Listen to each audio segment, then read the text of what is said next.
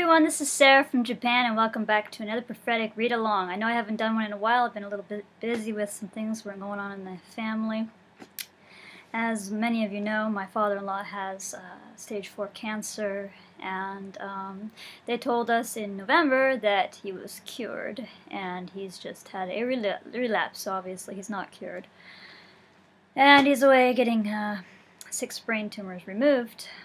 Um, but anyway, um, so I told you last Friday, and today is now Thursday, um, that I would do an intro, okay, on, on the book of Ezekiel.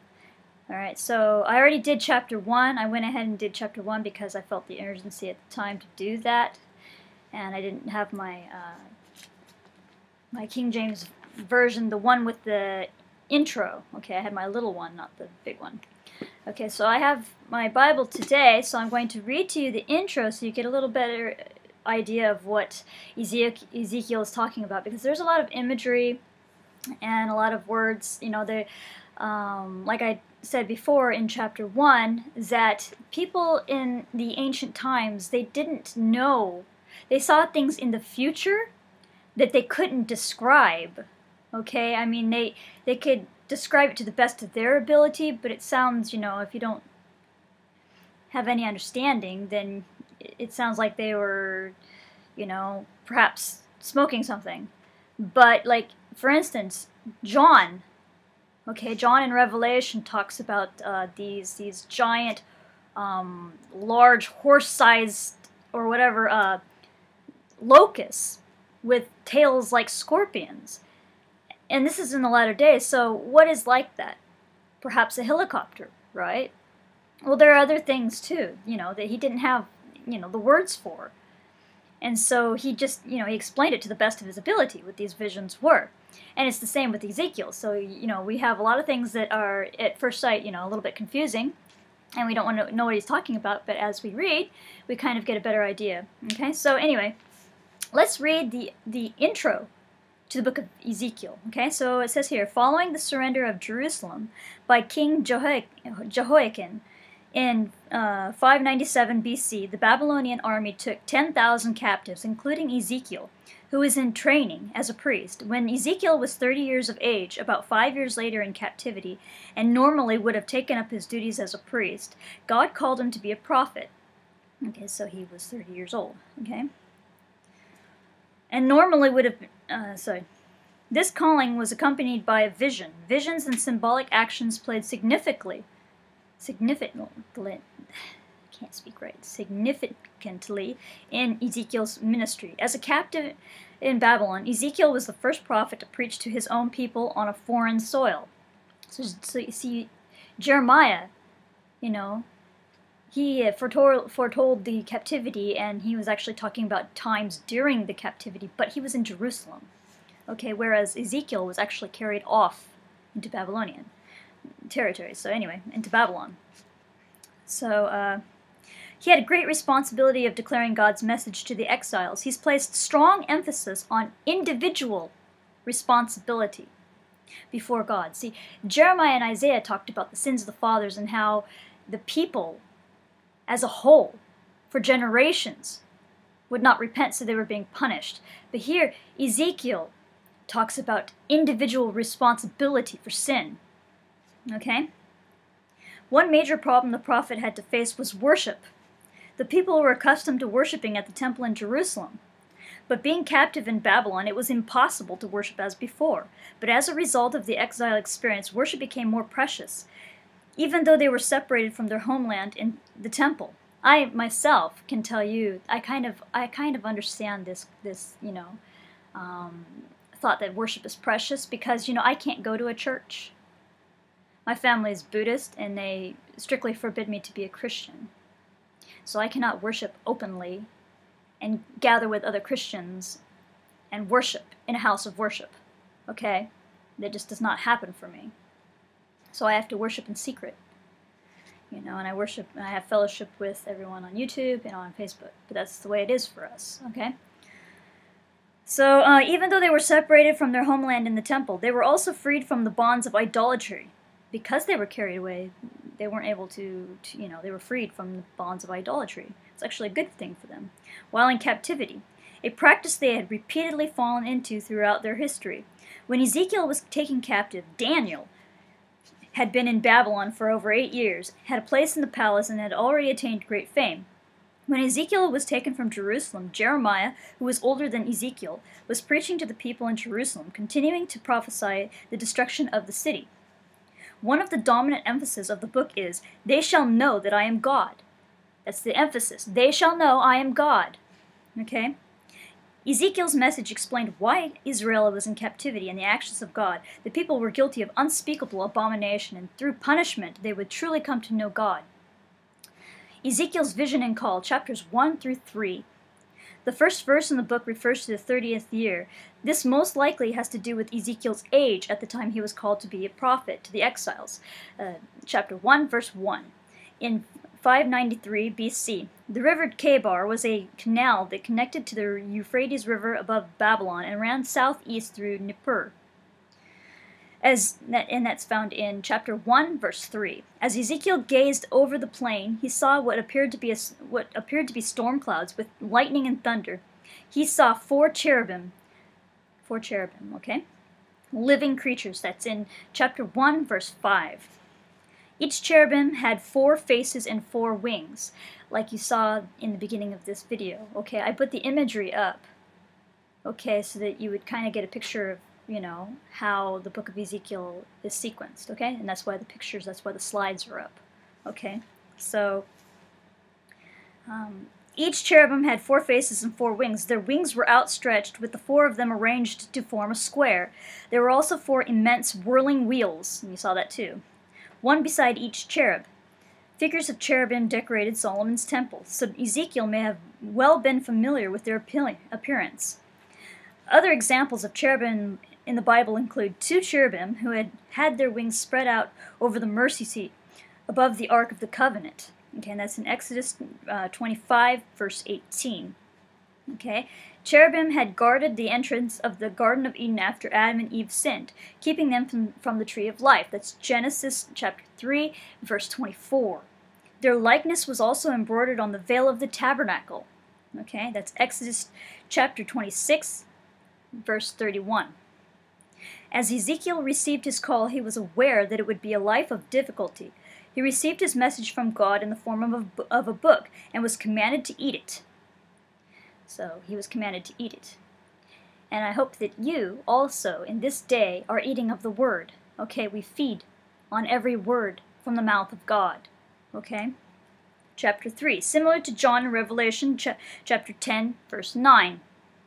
The eating of the book may have been literal, or only in a vision, but it signified the thorough digesting of its contents. Do, you see? The thorough digesting of its contents. We need to fully digest His holy word, okay, and not just bits and pieces of it. You can't just pick off the cherry off the top, you know? We need to to to to understand the full thing. We need to digest it. We need to eat it up. If your Bible is is collecting dust, that means you haven't let your you haven't tasted of it. You have not tasted his word. You have not tasted of God. You know nothing. Okay? Get in there and start eating. Okay? And the message became part of the Ezekiel. Ezekiel was also warned that while he would declare God's message, there would be a time when he would be completely silent. Okay, so the Lord would make him mute. He was to speak as God commanded and give the message. The siege of Jerusalem symbolically enacted, chapters 4 through 7. The prophets often used symbolic acts to demonstrate their message. Isaiah had walked naked and barefoot for three years. That's in Isaiah chapter 20, verse 3. Jeremiah wore a yoke on his neck. Jeremiah chapter 27, verses 1 and 2. Ezekiel made an outline of the city of Jerusalem on a, on a mud brick, portraying the walls, the fall of, of Jerusalem. That's chapter 4, verses 2 through 3. Okay, Ezekiel was commanded by God to lie on his, lie on his left side 390 days and on his right side 40 days, representing punishment of the northern kingdom and of the southern kingdom, which each day symbol, uh, symbolizes a year. Okay, that's chapter 4, verses 4 through 8. In the Septuagint, Septuagint, Septuagint, I don't know. This number, 390, verse 4, uh, uh, sorry, chapter 4, verse 5, is translated as 190, which is the approximate period from 722 BC to 536 BC. If it is the larger number, the period of time would extend into the Greek period of Alexander the Great. Ezekiel's action was also thought of being symbolic of the, the Egyptian servitude.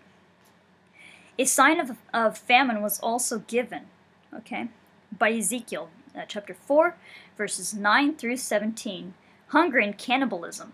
Ooh, hunger and cannibalism were evident in the last days of Jerusalem.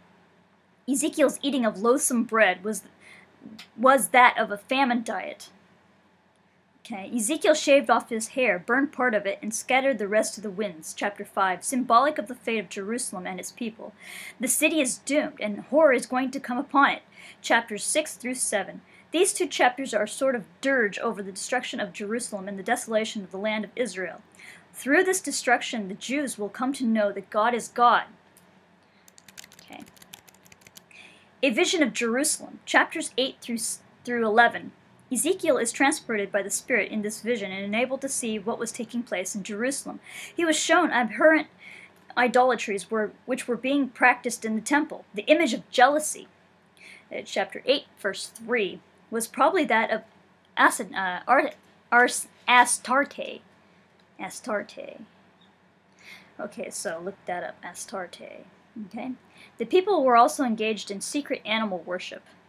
These are all Babylonian, ancient Babylonian satanic practices, okay, that are carried throughout now. Even even now, they're apparent in in the Illuminati, the Freemasons. You know, um, the Mormon Church uses some of the symbolisms from that, but um, yeah. So this is the synagogue of Satan kind of beginning, the Freeman beginnings, I think, the very first hints of this.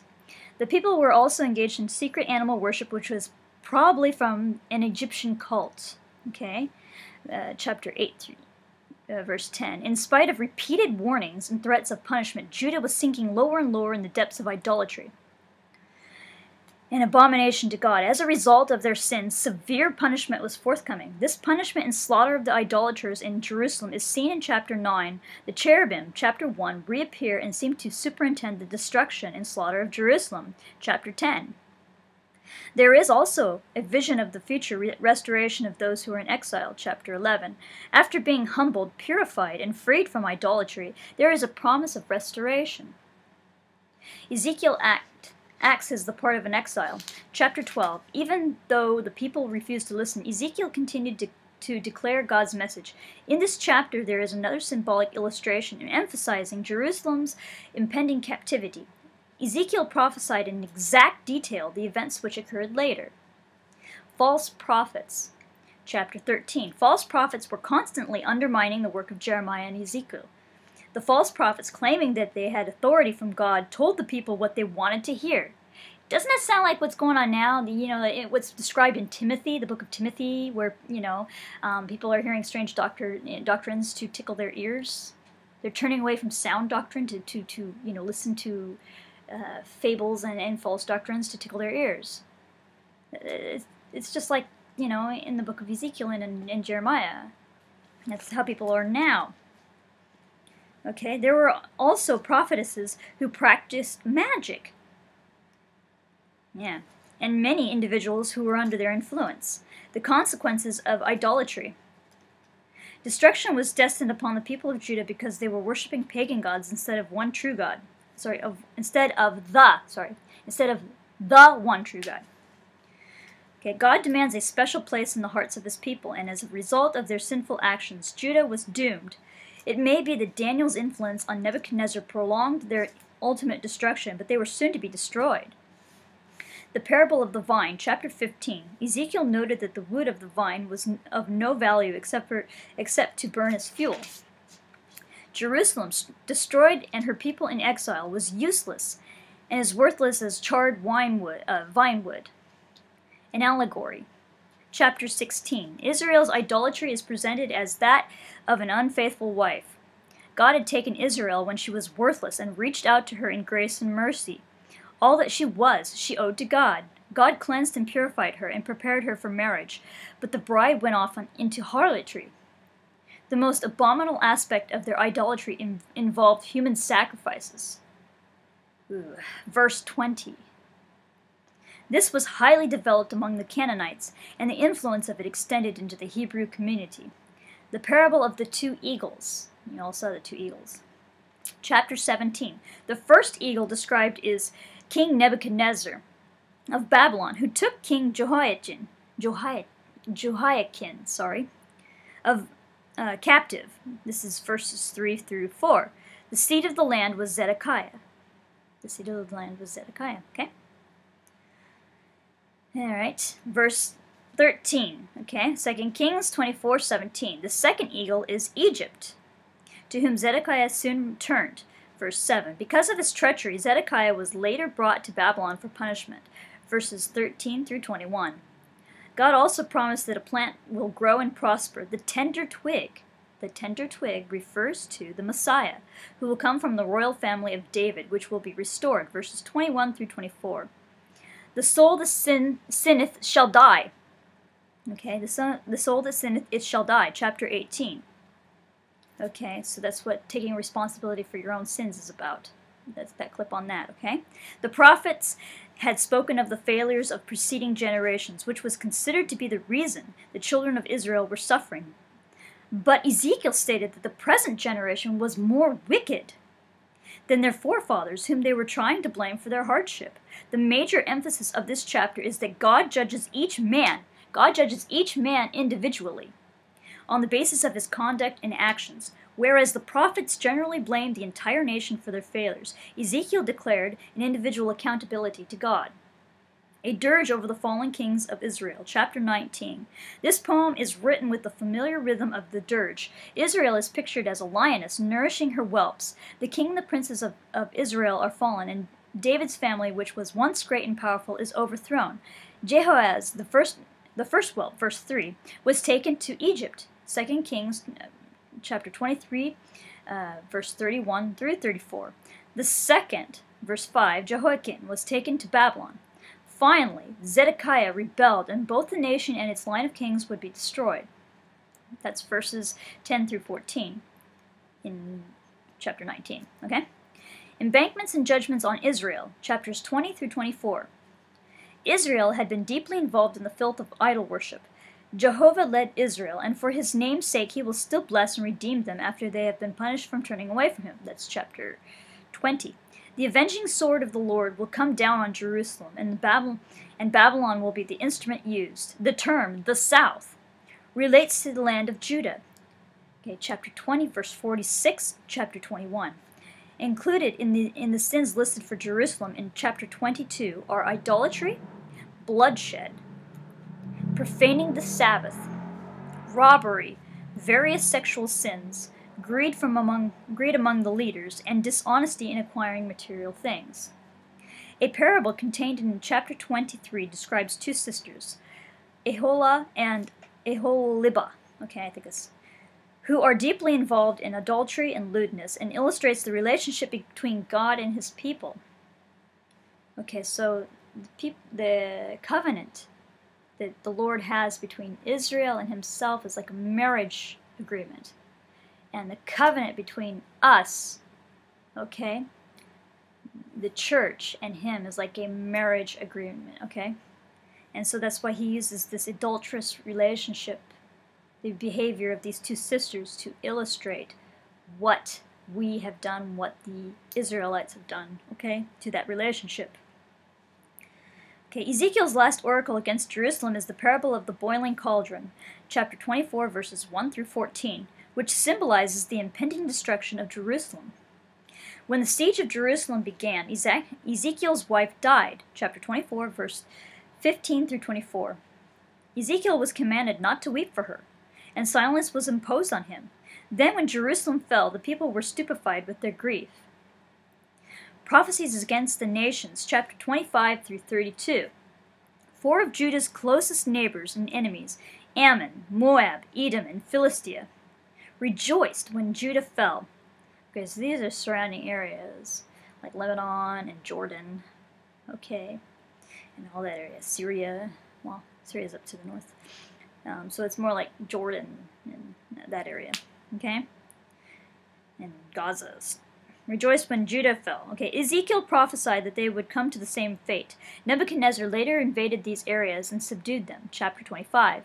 The year that Jerusalem fell, which was 586 BC, sorry, Ezekiel had visions of the downfall of Tyre, a great maritime, maritime town, uh, power in the ancient world located about 50 miles northwest of Nazareth. It was a beautiful place and one of the, one of the great treasures and uh, sorry, and one of great treasure and commerce. It is pictured under the under the imagery of the as a sorry of a majestic ship. Chapter 27. Ezekiel prophesied Nebuchadnezzar's siege of Tyre. Chapter 26, which lasted uh, 13 years. Tyre was also subdued by the Persians and again by Alexander the Great, never to recover its former glory. The king of Tyre felt secure, but he was overthrown, along with Sidon, 20 miles north of Tyre. This is like the Lebanon area, I guess, which was captured at the same time of Nebuchadnezzar. These enemy nations will disappear, but Israel shall be restored. Chapter 28, verse 25 through 26. The next six visions relate to Egypt, chapters 29 through 32. Nebuchadnezzar invaded Egypt and reduced her to a place of minor importance, never to recover or attain her former glory. Okay, Israel's fall and restoration, chapters 33 through 37. The prophet pronounced judgment, but he also announced restoration. God doesn't take pleasure in the destruction of the wicked. I will say that again. God does not take pleasure in the destruction of the wicked, but rather he wants people to be changed and to live for him. That's uh, chapter 33, verse 11. Ezekiel declared God's message to the people who listened but generally failed to repent. They listened, but they failed to repent.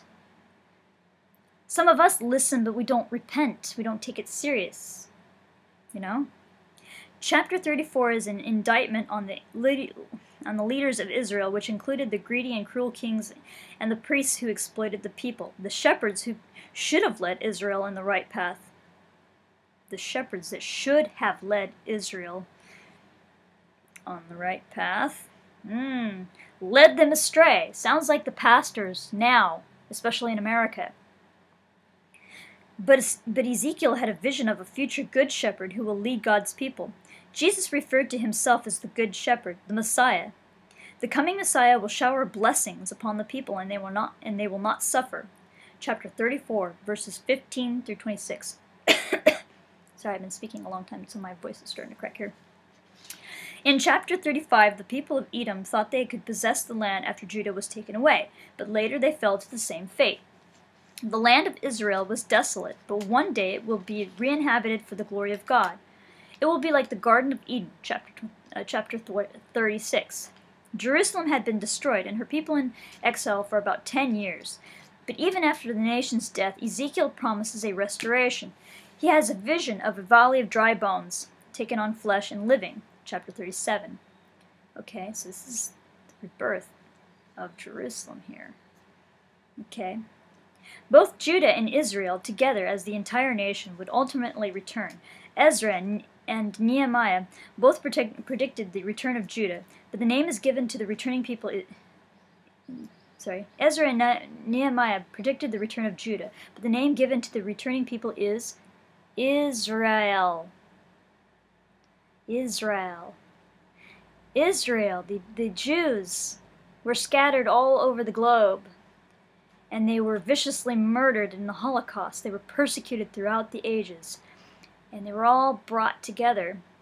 They all went home to the land of their fathers, and in 1948, the land of Israel was established. The term Israel is used in the New Testament, often with reference to the Jews in general. The dead, dry bones will live in the restoration of the nation of Israel. In Ezekiel's visions of the future, the major emphasis is placed on the Messiah, referred to in Ezekiel as the Prince and the Shepherd, among other titles. Gog and Magog. We hear a lot about this now. prophecy of Ezekiel 38, Gog and Magog. So who are they? You saw in that map that I put in the slide, if you want to go back and look at that, who they are. Okay? In these two chapters, okay, in these two chapters is found a discussion of Gog and Magog. The land of Magog was ruled by Gog. The sons of Japheth, Japheth mentioned in Genesis 10 and chapter 10 verse 2 are Magog, Meshesh, Tubal, and, and Gomer. The form the founders of the northern group of nations, okay, like Russia and all up there. Okay, according to Ezekiel 27:13, slaves were sold to Tyre by Meshesh and Tubal. There is a speculation concerning the meaning of Rosh. Some conclude that Rosh is the same as Russia.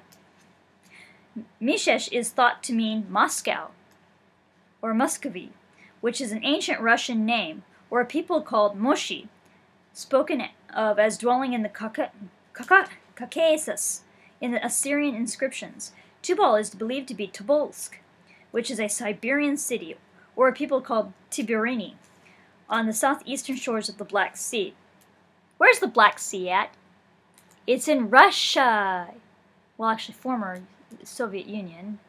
I think also in that area is Ukrainian, Ukraine and Poland. Poland, maybe not. No, not Poland, but Ukraine and Czechoslovakia, I think, are over in that area. So yeah, it's the former, you know, Soviet Union or the old Russia. Okay? Gomer is thought to have been the Cimmerians who came from the north through the Caucasus in the days of the Assyrian Empire and occupied parts of Asia Minor. Maybe the Kazakhstan and Turkmenistan and all that area. Okay? but were driven back to, uh, Togarmah is thought to be Armenian. Ezekiel speaks of these people as dwelling in the uttermost parts of the north. Ezekiel 38, uh, verse 6, 15, and chapter 39, uh, verse 2. Whatever their exact identification may be, there can be little doubt that they were nations beyond the uh, Caucasus. I can't say that. Ca ca Caucasus. Sorry. It, it is apparent that this is the part of the world known as Russia. These barbaric, these barbaric, they were barbaric people were spoken of in ancient literature as Scythians, okay, or Scythians. During this, the time of Ezekiel, uh, southwest Asia was terrorized by hordes of them pouring in from the north. In Ezekiel 38 and 39, another Scythian, Scythian invasion on a greater scale, together with people from the east, is predicted. Ezekiel 38 verse 5. This invasion would go into the Holy Land against restored against restored Israel. So that would be now, you know? In the latter days. In the latter days. Ezekiel 38 8. With God's help, there will be such will be there will be such a great defeat that their weapons will supply fuel for seven years, and it will take seven months to bury the dead. So there's going to be a lot of dead people up there. So probably the people of Russia are going to come up against Israel real soon here. Because they're going to want what Israel has. Okay? And they're going to go to battle against Israel. It's about it's about things. They want something from Israel. Okay? So, uh, anyway, um, next verse here. The same words are used in the book of Revelation and Gog and Magog are used as representing nations in, Satan, in Satan's final attempt to destroy God's people. Revelation chapter 20, verses 7 through 10. A vision of the temple, chapters 40 through 48. This remarkable vision of Ezekiel concerning a temple has, a numerous, has numerous interpretations. It was somewhat similar to Solomon's temple that was destroyed in uh, 586 BC. This is an idealized replica, and some would conclude that it was on it was the one that was to be built upon the return from Babylon, while others see it as a description of the kingdom of God in its final form. Some relate it to the earthly Christian church. It seems that Ezekiel's temple is the future one to be constructed in Palestine. You saw that at the end of the clip here. During the coming kingdom age. Okay, so that's the third temple. I saw, you know, the uh, computer graphics that they put out. I saw um, a YouTube somebody posted, I forget who, that talked about it was these it was the council for building the you know the the temple, and they already have everything planned out. The blueprints are there, and they even have what it'll look like. You know, so a computer-generated image of what the inside is, and I've seen it. It's it's massive. Okay, it was pretty awesome.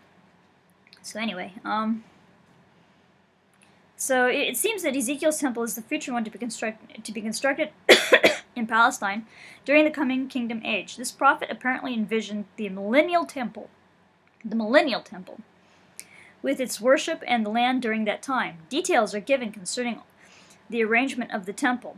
Chapter 41. The holiness of God is emphasized and the divine glory is in the temple.